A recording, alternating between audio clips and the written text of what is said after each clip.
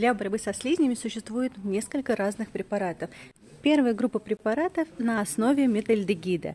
Это хищник от фирмы Greenbelt, это гроза и это слизниед от фирмы Август. Внутри пачек вот такие гранулы, которые нужно разместить либо в приманках, либо на дорожках и местах скопления. Препарат не теряет приманочных свойств под дождем. При этом защищает на срок до 14 дней, то есть регулярно нужно будет его подсыпать. Если вы за органическое земледелие, то стоит выбирать препарат на основе натуральных компонентов. Один из них – тиатамид. В измельченном виде он отлично действует против слизней и улиток. Каким образом? Он попадает на их хитиновый слой, разрушает и обезвоживает вредителей. То есть это контактное действие.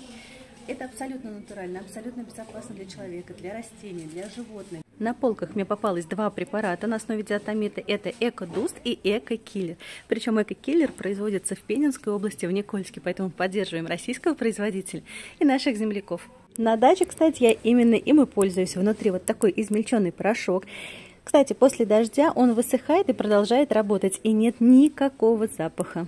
Еще один биопрепарат попался, называется Экстрафлор, и он на основе экстракта белой горчицы. Этот пакетик нужно развести в одном литре теплой воды и опрыскать растения.